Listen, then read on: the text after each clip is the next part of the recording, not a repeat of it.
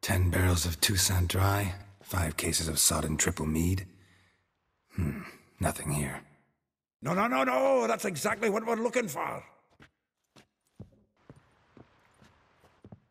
It's his planner. Huh. Dandelion and planning? Good one. Besides, anything he wrote here probably had a special system. Chaos only he could ever decipher. Actually, in the past, sometimes not even that. Give him a chance. Might not be that bad. Seems when he inherited this fine establishment, it came with some fine responsibilities. Bookkeeping among them. He also made a habit of noting down the times of his meetings, official and private. So, who'd he been seeing of late? Ah, here it is. Hmm.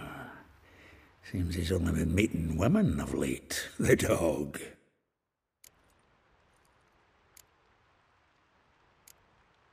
Zoltan, please. You really want to track down the women Dandelion's been wooing? Most likely all angry women by now. Got any better ideas? Besides, Dandelion's a babbler. They're sure to know something of his doings. Hmm. We should divide these somehow. Perhaps. Fuck it.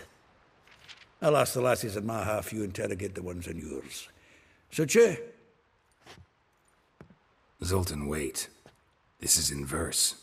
And you figure that's unnatural because. Wonderful. Meet me back here when you're done. Share our findings. Right you are.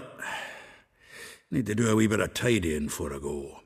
Cannot stomach the idea of coming back to this mess.